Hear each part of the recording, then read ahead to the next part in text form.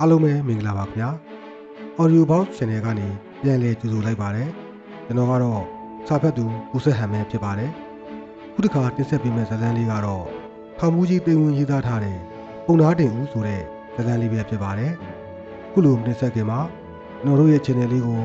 subscribe မလုပ်ရသေးရင် subscribe လုပ်ထားပေးခဲ့ပြီးသစ်တင်တိုင်းသိရှိရအောင် notification ခေါင်းလောင်းလေးကိုလည်းနှိပ်ထားပေးခဲ့ဖို့မေတ္တာရက်ခံပါတယ်ခင်ဗျာ ကျွန်တော်တို့အလုပ်ဝင်စားထောင်မှုပေါက်စားဘဝ1996ခုနှစ်ကအဖြစ်အပျက်များဖြစ်ပါသည်ပုံနာတင်ဦးမှာအသက်30ခန့်ကြီးပုံနာမျိုးဖြစ်ပြီးမန္တလေးပုံနာစုရက်တွင်မွေးဖွားသူဖြစ်ပါသည်မိယိုးဖလာဘေရင်လက္ခဏာပညာတွင်မကတိုက်ရိုက်တက်စဉ်ရေရာလုပ်ငန်းများကိုလည်းကျွမ်းကျင်သည့်အပြင်လူကျော်နားလေသောနှိပ်စရာတူနန်းတွင်မြမစီဝါများနားလေကျွမ်းကျင်သောစီးစရာတူလည်းဖြစ်ပါသည်ထောင်တွင်းကိုရောက်လာရသည်ကတော့ဖောက်ထွင်းခိုးယူမှုဖြင့် ထောင်ဒဏ်9နှစ်ကြာခံရပြီးရောက်ရှိလာခြင်းဖြစ်ပါသည်ဆက်ဆံရေးကောင်းမွန်ပြီးလူတကာနှင့်လည်းတဲ့အောင်ပေါင်းတတ်သူဖြစ်ပါသည်အရာရှိဝန်ထမ်းရဲဘက်အားလုံးကိုအစဉ်ပြေအောင်ပေါင်းတတ်သဖြင့်လူချစ်လူခင်ပေါ်များလာပါသည်ကျွန်တော်နှင်းစတင်သိကျွမ်းရသည်ကတော့အချုပ်ရုံးခန်းတွင်စိတ်ရှည်လက်ရှည်တန်ရှင်းရေးလာလုပ်ပေးပြီးကျွန်တော်ဤရှုဖနက်များကိုလည်းပြောင်းလဲနေအောင်တိုက်ပေးသဖြင့်သိကျွမ်းရင်းနှီးရခြင်းဖြစ်ပါသည်တစ်ခါတရံအလုံများသဖြင့်ထောင်တွင်း၌ပင် တပည့်များစီစဉ်ပေးသောဟင်းဖြင့်တမင်းစားရလေးရှိရာပုံနာတင်ဦးရှိနေလျင်တော့ထောင်တွင်းတောင်ယာများကိုလှည့်လည်ပြီးဟင်းသီးဟင်းရွက်များအားတောင်းရန်ကတက်တက်လို့ဟင်းလျာချက်ပြုတ်ကျွေးမွေးလေးရှိပါသည်လက်စိတ်ရှိသူဖြစ်သည်ဖြင့်၎င်းချက်ပြုတ်သောဟင်းများဖြင့်တမင်းစားရလျင်မိန်လာပါသည်ပုံနာတင်ဦးမှာဖောက်ထွင်းခိုးမှုဖြင့်ထောင်ကျသူဖြစ်တော်လဲ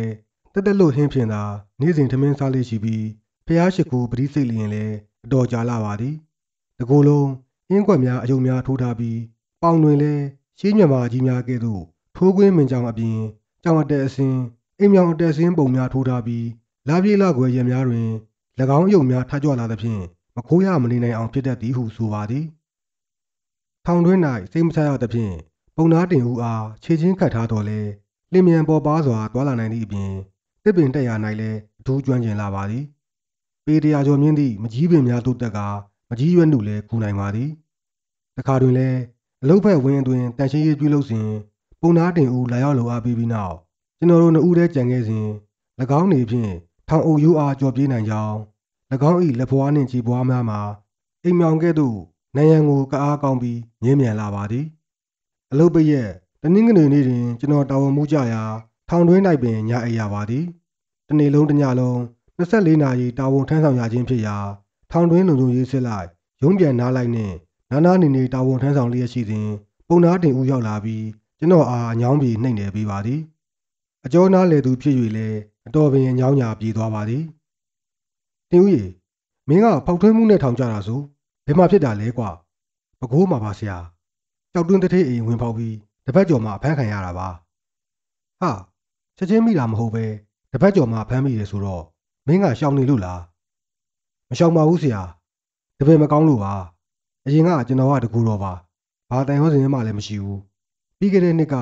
မြို့ဝကျွန်းပေါ်ဘက်သွားလေလာရင်မိချောင်းကြိုက်ခံရတဲ့15နှစ်သားလူငယ်တယောက်ကိုကယ်တင်ပြီးဆေးကုပေးရာကတိုင်ဟောစင်ဖြစ်မွေးစားခဲ့တာပါသူကလည်းကျွန်တော်လူမိဘမဲ့တကောင်ကျွတ်မှုဘဝတူချင်းတနာတာနဲ့တပည့်မွေးလိုက်တာပါသူကတစ္ဆာရှိတယ်ကျေးဇူးတည်တတ်တယ်ရိုးလုံးအလုံးနဲ့ဆရာအဲ့ဒါကြောင့်လေကျွန်တော်ထောင်ကြတာပါ ငါ့ကိုရှင်းရှင်းလင်းလင်းပြောပါအောင်ကွာဒီလိုဆရာကြီးအဲ့ဒီမူစားတစ်ပည့်ကိုကျွန်တော်တက်တဲ့ပညာတွေသင်ပေးတယ်ပါဠိဒုက္ကနံကြေကနံယင်းဒီဖန်နီအတွက်ချက်ပညာကိုကံပညာမြန်မာနန်းရင်းဆေးပေါ်စံနီအနိတ်အကျော်ပညာတွေပေါ့ဆရာဖောက်ထွင်းခိုးယူတဲ့ပညာကိုသင်မပေးပါဘူးဘာလို့လဲဆိုတော့သူ့မှာပါရမီနေတာရဲ့ကျွန်တော်လူခံစည်းတွေထိုးဖို့နှစ်နဲ့ချီစောင့်ရမှာရဲ့အကြောင်းပါဆရာသူကရိုးလုံးအလုံးနဲ့သူ့ဘဝလေးကိုကျွန်တော်ရောင်မစိုးချင်ဘူးဆရာ ဘဝသက်သက်လုံးဖြူဖြူစင်စင်နဲ့စီးကူးတဲ့အလုပ်ပဲလုပ်စေချင်တာကျွန်တော်စီစဉ်တာပါကုသူလဲရဝမ်းလဲဝါတဲ့အလုပ်ပေါ့ကျွန်တော်မနေနိုင်လို့ဖောက်ထွင်းမှုလုပ်တာကိုတောင်သူ့ကိုအတိမပေးခဲ့ပါဘူးသူမသိအောင်လဲတနေရာစီခွဲနေတာပါမင်းကတခိုးလို့လုပ်ပေမဲ့စိတ်ရင်းစိတ်ထားကတော့ဝန်းမြတ်လာပါတယ်ကွာအရင်နှစ်တွေတုန်းကကျွန်တော်တကူတော်လှုပ်လာခဲ့တာပဝန်းကျင်ကတန်တရားတောင်ထင်မခံခဲ့ရပါဘူးဆရာရဲ့ဒါဖြင့်မင်းကဒီမူစားတစ်ပည့်မကောင်းလို့ထောင်ကြတယ်လို့ဆိုချင်တာလား သူမကောင်းလို့တော့မဟုတ်ပါဘူးရိုးလွန်အားကြီးလို့ပါဆရာနှိမ့်ချုပ်ရင်တော့သူ့ကြောင့်ပေါ့ဆရာကဲဖြဖြစ်ပုံလေးလင်းသမ်းမအောင်ကွာပဲခူးမြို့ဇိုင်းကနိုင်ရက်ကွက်ထိပ်မှာကျွန်တော်ဝယ်ထားတဲ့အင်္ဂလိပ်နဲ့ခြံကျယ်လေးရှိတယ်ဆရာအဲ့ဒီမှာမြန်မာသမားတော်ပုံနာတင်ဦးဆိုပြီးဈေးကန်းလေးဖွင့်ထားတယ်ဈေးကူတယ်ဈေးရောင်းတယ်ထူးဆန်းတဲ့အဆောင်လက်ဖွဲ့လေးတွေကိုရောင်းနေဝယ်တယ်တောထွက်ပစ္စည်းဈေးဝါးအပင်နဲ့တိရစ္ဆာန်ထွက်ပစ္စည်းတွေကိုလည်းဝယ်တယ်ဆရာပဲခူးမြို့ကတိုးနယ်လန်းဆောင်ဖြစ်လို့ပစ္စည်းစုံတယ် အဲ့ဒါတွေအပြင်အကျော်ပြင်ပေးတယ်ဗေဒင်လဲဟောတယ်ရရရာလဲလုပ်ပေးတယ်လူရင်းကင်ရင်တပည့်ကိုပညာသင်ပေးတယ်ဈေးကန်းအကူလက်ထောက်တိုင်တာဝန်ခံပေါ့ဆရာအဆောင်ရရရာလုပ်ချင်သူနဲ့လီငန်းသမားအများစုလာကြပါတယ်နာမည်ရပြီးဝင်ငွေလဲကောင်းပါတယ်ဆရာကျွန်တော်က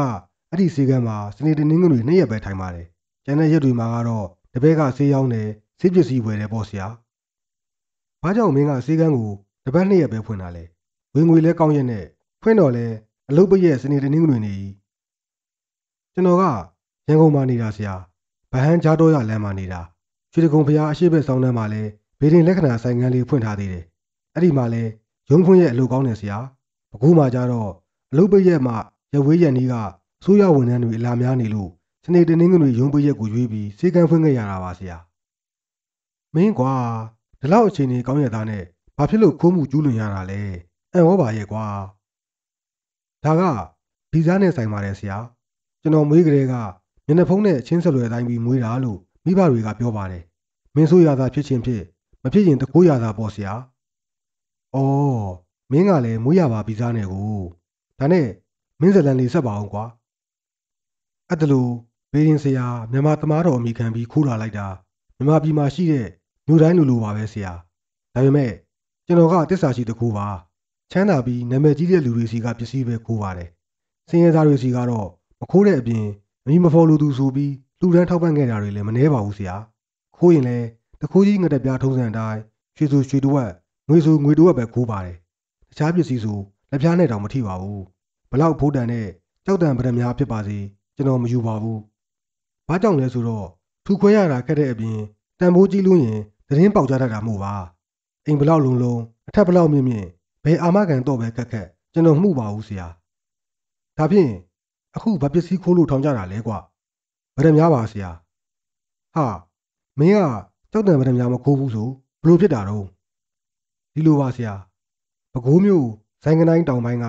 လာတထေးအိမ်ဖောက်တုံးကမိခင်တက်တာထဲမှာရွှေတွေငွေတွေအပြင်တောကျဥရွယ်စားလောက်ရှိပြီးအရေးကောင်းလာတဲ့ဗရမများကြီးကိုတွေ့ရတော့စိတ်ကူးတစ်မျိုးပေါ်လာခဲ့တယ်ပြီးခဲ့တဲ့နှစ်က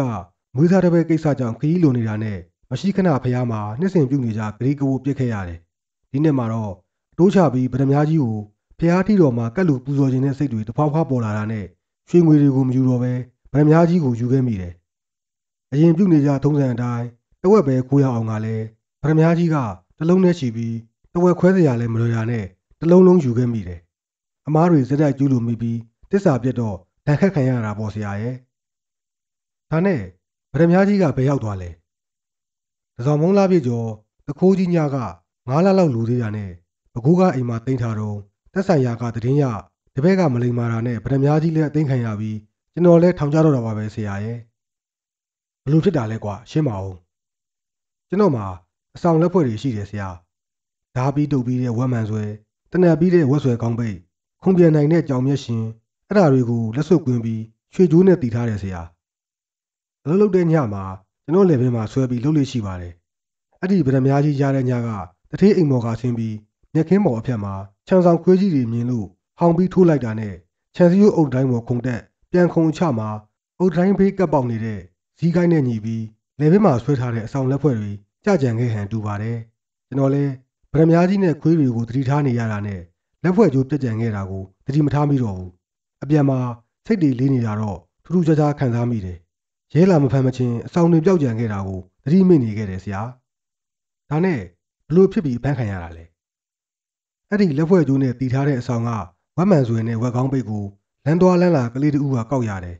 တိတ်ဆန်အဆွေတွေမှုကျွန်တော်တို့ဆိုင်ကိုလာရောက်တာပေါ့ကျွန်တော်မရှိတဲ့ရက်တပည့်ဆိုင်ထိုင်နေတုန်းလာရောက်တော့တပည့်ကကျွန်တော်ပစ္စည်းမှန်တိတာနဲ့လာရောက်တဲ့ကလေးကိုတခိုးဆိုပြီးဖမ်းတယ်တကြီးကိုတိုင်တယ်တကြီးကရဲစခန်းကိုတိုင်တယ်ဖောက်ထွင်းခံရတဲ့အိမ်ကလည်း ခြံစည်းရိုးစည်းကိုင်းမှာညှိနေတဲ့ရွှေကြိုးရယ်ကြောင်မျက်ရှင်လက်စွပ်ရယ်တွေ့တာနဲ့ရဲစခန်းတိုင်ထားတာနဲ့တိုးတော့စခန်းမှုတူရဲ့အုပ်ကလူတော်ပဲဆက်ဆက်စဉ်းစားမိပြီးကျွန်တော်ကိုဆွဲတော့တာပေါ့ဆရာကိုပောင်ကိုလန်ထောင်းနေဆိုတဲ့အပြစ်မျိုးပေါ့อืมမင်းဘလောက်ပဲပါးနှက်ပြီးတော့တော့အဆောင်လက်ဖွဲ့တွေဘလောက်ပဲဆွမ်းဆွမ်းဖြစ်ချိန်တန်တော့ဖြစ်ပြက်ချိန်တန်တော့ပြက်ရတာဓမ္မတာပါပဲမကောင်းမှုဟူသည်စိတ်ကြွယ်ရာမရှိဆိုတဲ့စကားပုံအတိုင်းဖြစ်ရတာပေါ့ကွာတပည့်ကိုလည်းအပြစ်ဖို့မနေနဲ့တော့ တရားနဲ့သာဖြေပြီးတော့ကိုလူရေထောင်မူကြီးတိမ်ဝင်အခုတင်ဆက်ပေးခဲ့တာကတော့ထောင်မူကြီးတိမ်ဝင်ရေးသားထားတဲ့ပုံနာတင်ဦးဆိုတဲ့ဇာတ်လမ်းလေးပဲဖြစ်ပါတယ်ဥဒ္ဒယတစာပေများကိုနေ့စဉ်အပတ်စဉ်တင်ဆက်ပေးမှာဖြစ်လို့ကျွန်တော်တို့ရဲ့ audio box channel လေးကိုလည်း subscribe လုပ်ထားခဲ့ဖို့မလွယ်ပါနဲ့ခင်ဗျာ audio book လေးတွေနားထောင်ရင်ဘဝအမောတွေပြပြောက်ပြီးပါရတဲ့အချိန်ကလေးတွေပိုင်ဆိုင်နိုင်ကြပါစေ။